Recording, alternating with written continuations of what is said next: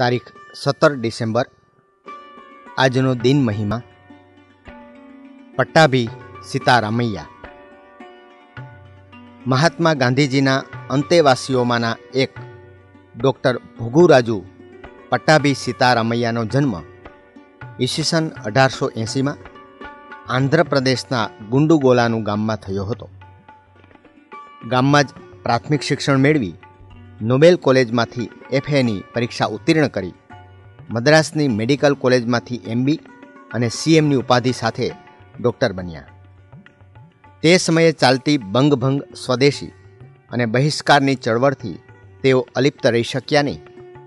ગાંધીજીના અહિંસક સત્યાગ્રહના પ્રચાર પ્રસાર માટે તેમણે અંગ્રેજીમાં જન્મભૂમિ સાપ્તાહિક શરૂ કર્યું. તેમણે રાષ્ટ્રીય મહાસભાનો ઇતિહાસ લખવાનું ભગીરથ કાર્ય પણ કર્યું. જેને લીધે તેઓ ખૂબ પ્રસિદ્ધ બન્યા.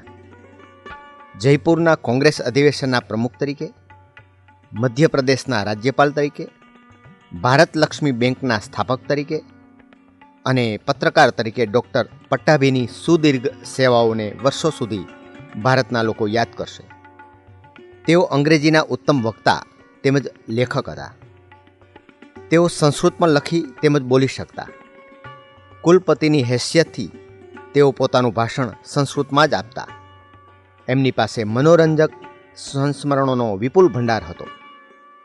બહુમુખી પ્રતિભાશાળી ડૉક્ટર પટાભી સીતારામૈયાનું તારીખ સત્તર ડિસેમ્બર ઓગણીસો ને ઓગણસાઠના રોજ અવસાન થયું.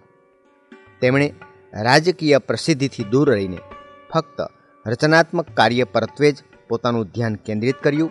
એ બાબત જ તેમની મહાનતાની સૂચક છે.